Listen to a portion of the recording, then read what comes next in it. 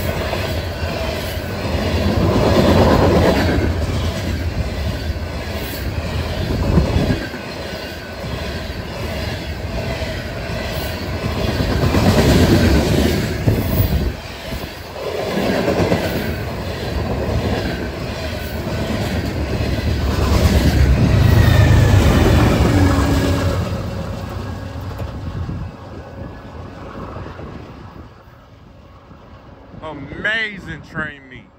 Yes, sir.